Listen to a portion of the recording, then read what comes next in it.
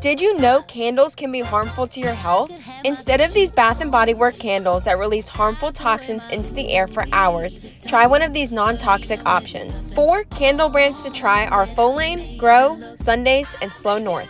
When buying candles, look for a soy or coconut wax blend, and instead of artificial dyes and fragrance, look for essential oils. Save this post and follow for more clean living tips.